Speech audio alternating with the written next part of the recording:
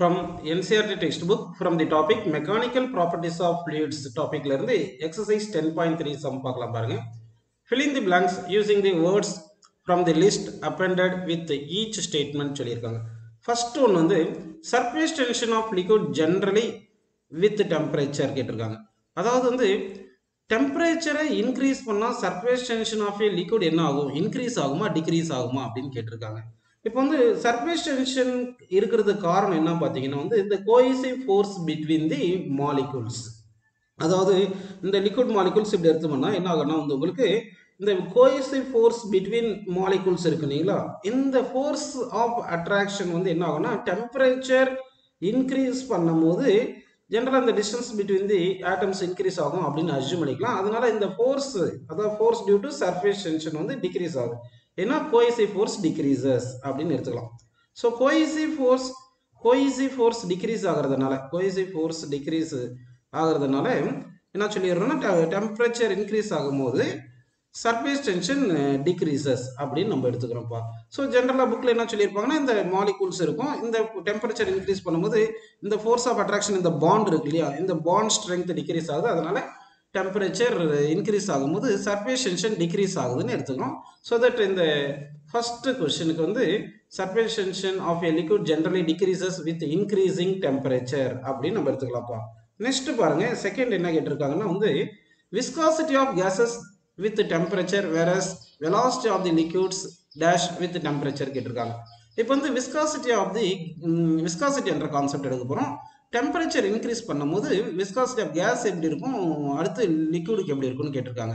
Viscosity வந்து ஃப்ளூயிடுக்கு இருக்கும். லிக்யூடும் case ரெண்டுமே ஃப்ளூயிட்ன்றதுனால கேஸுக்கும் விஸ்காசிட்டி இருக்கும். லிக்யூடுக்கும் விஸ்காசிட்டி இருக்கும். இப்போ டெம்பரேச்சர் இன்க்ரீஸ் பண்ணால் என்ன ஆகும்? பார்த்தீங்கன்னா இந்த கேஸ் ஆஃப் கேஸ் எடுத்துக்கலாம். ஃபார் கேஸ் வந்து RMS velocity of the gas molecule is equal to square root of three RT by M அப்படின்னு உங்களுக்கு தெரியும்.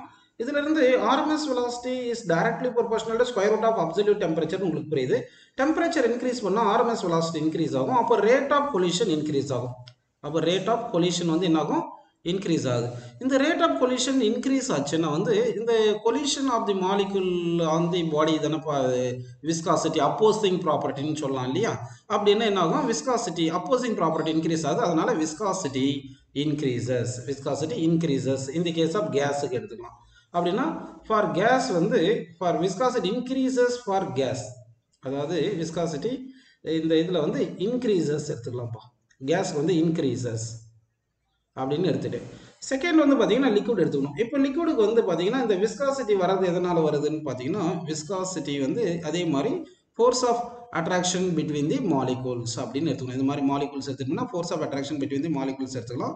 அப்போ லிக்விடுக்கு என்ன ஆகுதுன்னா வந்து இந்த டெம்பரேச்சர் இன்க்ரீஸ் பண்ணும்போது அந்த ஃபோர்ஸ் வந்து டிக்ரீஸ் ஆயிரும். ஃபோர்ஸ் வந்து டிக்ரீஸ் ஆயிரும். ஸோ அதனால் என்ன ஆகுது விஸ்காசிட்டி டிக்ரீசஸ் விஸ்காசிட்டி டிக்ரீசஸ் அப்படின்னு நம்ம எடுத்துக்கலாம்ப்பா. ஸோ அதனால் என்ன பண்ணலாம்னா இந்த லிக்யூடுக்கு வந்து எடுக்கும்போது பை ரைசிங் டெம்பரேச்சர் விஸ்காசிட்டி டிக்ரீசஸ்ன்னு எடுத்துக்கலாம். அப்போ வந்து செகண்டுக்கு என்ன பார்த்தீங்கன்னா இந்த செகண்ட் வந்து ஃபார் கேஸ் வந்து by increasing temperature viscosity viscosity increases increases அதே ஃபார் லிக்யூடு லிக்யூடு வந்து டெம்பரேச்சர் இன்க்ரீஸ் பண்ணால் விஸ்காசிட்டி என்ன ஆகுதுன்னா விஸ்காசிட்டி வந்து டிக்ரீசஸ் விஸ்காசிட்டி டிக்ரீசஸ் அப்படின்னு எடுத்துக்கலாம். நெக்ஸ்ட் தேர்டு பாருங்க. தேர்ட் என்ன சொல்லியிருக்காங்க பாருங்க. For solid with elastic modulus of rigidity the shearing force is proportional to dash while for fluids it is proportional to டேஷ்னு சொல்லியிருக்காங்க. இது டெக்ஸ்ட் புக்லேயே நம்ம வந்து படிச்சிருக்கோம். ஃபார் சாலிட்ஸுக்கு வந்து elastic modulus of rigidity elastic modulus of ரிஜிடிட்டியில் வந்து ஷியரிங் ஃபோர்ஸ் ஷியரிங் ஃபோர்ஸ் வந்து என்ன புக்கில் கொடுத்துருக்கோம் definition direct proportional eh, shear strain கொடுத்துருக்கோம் ஷியர் ஸ்ட்ரைன் கொடுத்துருக்கோம் ஓகேங்களா அதனால வந்து ஃபார் சாலிட்ஸுக்கு வந்து ஷியரிங் ஃபோர்ஸ் டைரக்ட்லி ப்ரொபோர்ஷனல் இந்த டேஷ் பிளேஸில் என்னப்போ ஷியர் ஸ்ட்ரைன் அப்படின்னு ஃபில் பண்ணிக்கலாம். ஓகேவா ஷியர் ஸ்ட்ரைன்னு ஃபில் பண்ணிக்கலாம்.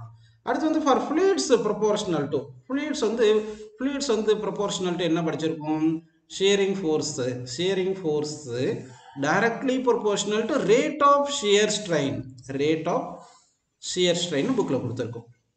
புக்கில் கொடுத்துருக்காங்கப்பா அதாவது வந்து விஸ்காசிட்டிக்கு எப்படி படிச்சிருப்பீங்க? Shearing stress shearing stress லிக்விடுக்கு divide by rate of shearing flow படிச்சிருப்போம் இல்லையா? ரேட் ஆஃப் ஷியரிங் ஃப்ளோன்னு படிச்சிருப்போம்.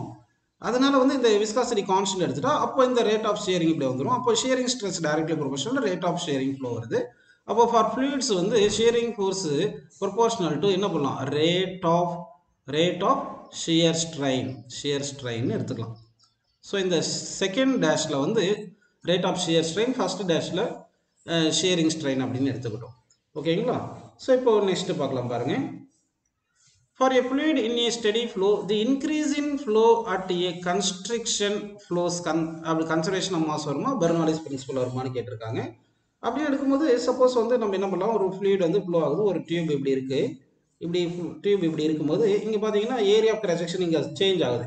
இங்கே ஏ ஒன் ஏரியா இருக்குது இங்கே ஏ டூ ஏரியா இருக்குது இப்போ வந்து இந்த ஃப்ளோ இன்க்ரீஸ் ஆகுறது எப்படி சொல்லிடுறோம் நம்ம வந்து கன்சர்வேஷன் ஆஃப் மாஸ் கான்செப்ட் எடுப்போம். ஏன்னா வந்து இந்த ஃபர்ஸ்ட் கிராஸ் செக்ஷனில் பர் செகண்டில் எவ்வளோ மாஸ் என்ட்ரு ஆயிருக்கோ ஃபர்ஸ்ட் கிராஸ் செக்ஷனில் சேம் மாஸ் பர் செகண்ட் தான் லீவ் ஆகும் செகண்ட் கிராஸ் செக்ஷனில் so by using conservation of mass conservation of mass use பண்ணும்போது என்ன வருதுன்னா உங்களுக்கு இந்த மாஸ் பர் செகண்ட் அதாவது DM by DT equal to constant வந்திருக்கும். இதை யூஸ் பண்ணி தான் நம்ம என்ன பண்ணியிருப்போம்னா area into velocity equal to constant வரும். ஸோ அப்போ area is inversely proportional to velocity அப்போ ஏரியா டிக்ரீஸ் ஆனால் வெலாசிட்டி இன்க்ரீஸ் ஆகுது. ஸோ அப்போ இந்த conservation of mass concept use பண்ணி தான் நம்ம வெலாசிட்டி இன்க்ரீஸ் ஆகிறத பற்றி இந்த கன்ஸ்ட்ரக்ஷன்ஸ் ஆஃப் ஃப்ளோவில் சொல்கிறோம் ஸோ அப்போ வந்து for a fluid steady flow The increase in flow speed at a construction flow is depends on conservation of mass இந்த கான்செப்ட் வச்சு தான் இப்போ சொல்கிறோம் அடுத்து பாருங்க For the model of a plane in a wind tunnel, turbulence occurs at a speed for turbulence for an actual plane சொல்லியிருக்காங்க ஆக்சுவலாக வந்து ஸ்பீட் வந்து இன்க்ரீஸ் பண்ணிகிட்டே போனோம்னா ஒரு பர்டிகுலர் ஸ்பீடில் என்ன ஆகும் பார்த்தீங்கன்னா வந்து இந்த ஸ்டெடி ஃப்ளோவில் இருந்து டர்புலன்ட் ஃப்ளோவாக மாறிடும் சரிங்களா? அப்போ வந்து ஸ்பீடு அதிகமாக இருந்தால் ஸ்பீடு வந்து அதிகமாக இருந்துச்சுன்னா அப்போ என்ன ஆகும்? டர்புலன்ட் ஃப்ளோ வந்துடும் ஸோ கிரேட்டர் ஸோ அப்போ வந்து இந்த turbulent occurs at greater speed அப்படின்னு எடுத்துக்கலாம். சரிங்களா? அப்போ கிரேட்டர் ஸ்பீடுன்றது இந்த ஃபிஃப்த் ஒன்று கரெக்டுன்னு எடுத்துக்கலாம்ப்பா.